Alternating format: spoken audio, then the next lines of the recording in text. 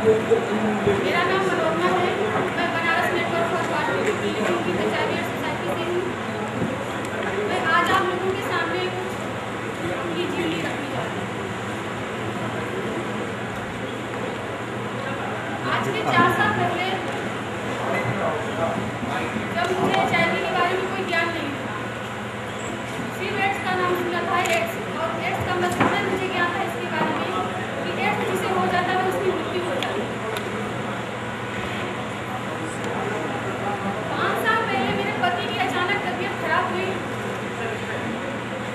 इधर उधर कई प्राइवेट डॉक्टरों को दिखाया। किसी डॉक्टर ने उन्हें टीबी डायग्नोस्ट किया। इलाज चला, लेकिन भी रिलैक्स नहीं मिला। फिर कई doc, private doctor private hospital के यहाँ चक्कर काटते रहे, लेकिन उनका सही ट्रीटमेंट कहीं नहीं था। क्योंकि हमें यह ज्ञान नहीं था, इसके बारे में जानकारी नहीं थी कि उनको एक्चुअली हुआ क्या। और किसी भी डॉक्टर ने ये सजेस्ट नहीं किया कि आप इतनी सारी महँगी महँगी जांचें करवा दिए। लेकिन किसी ने ये नहीं सजेस्ट किया कि एच जाँच करवा जब मुझे पता चला तो काफ़ी देर हो मैं कुछ भी नहीं कर पाई उनके लिए। अगर इसके बारे में मुझे पहले पता चल गया तो शायद आज मेरे हस्बैंड मेरे साथ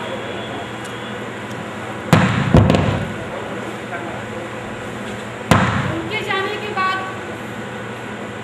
घर में परिवार, ससुराल में सारे लोगों का रवैया बदल गया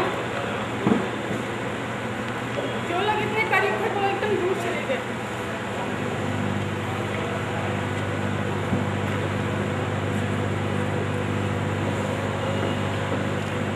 मुझे लगा कि जैसे मेरे जीवन का अंत हो गया है, मेरे पैर के नीचे ज़मीन नहीं है, मेरा और मेरे बच्चे का क्या होगा?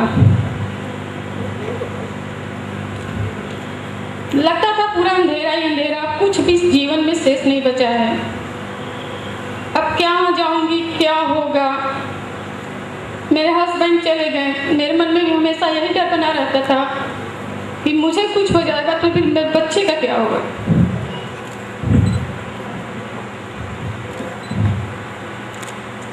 और जब मेरे हस्बैंड का एक्सपायर हो गए तो फिर मेरे पेरेंट्स ने मेरा काफ़ी सपोर्ट किया।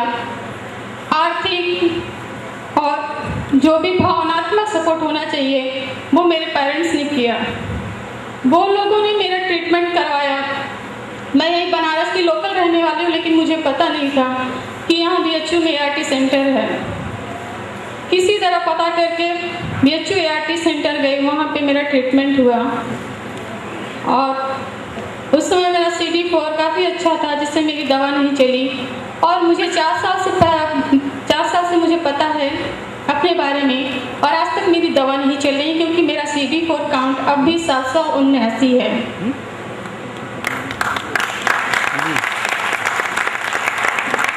क्योंकि मैं अब एक सकारात्मक सोच के साथ सकारात्मक रही हूँ। और मुझे ये सोच सकारात्मक और ये जो मेरे अंदर कैपेसिटी जो मेरी बिल्ड हुई, ये देन है बनारस पॉजिटिव नेटवर्क की।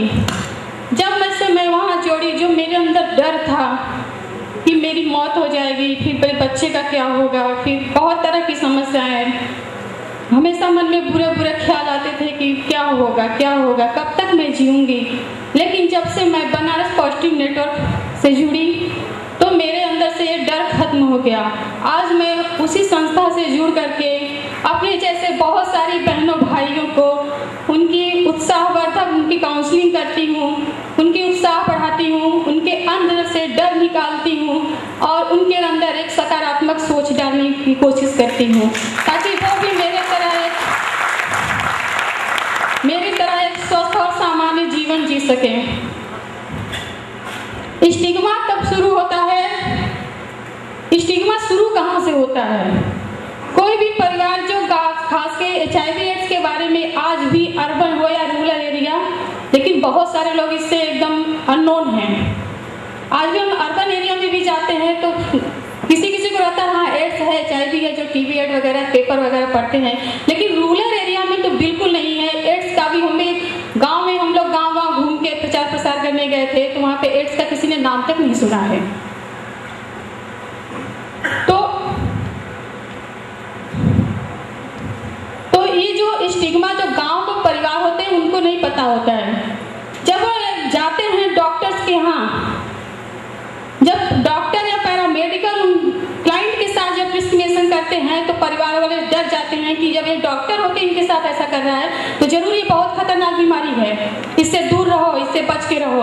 और जैसा कि आप लोगों ने नाटक में देखा कि किस तरह से इसे एक्सप्लेन किया गया है नाटक के माध्यम में, किस तरह से एक महिला हो या फिर एक पुरुष कोई भी हो, और खास के जो ऑर्फन वीडो होती हैं उनके साथ बहुत सारी तरह की स्टिग्मा डिस्क्रिमिनेशन के साथ किया जाता है। परिवार समाज हर जगह से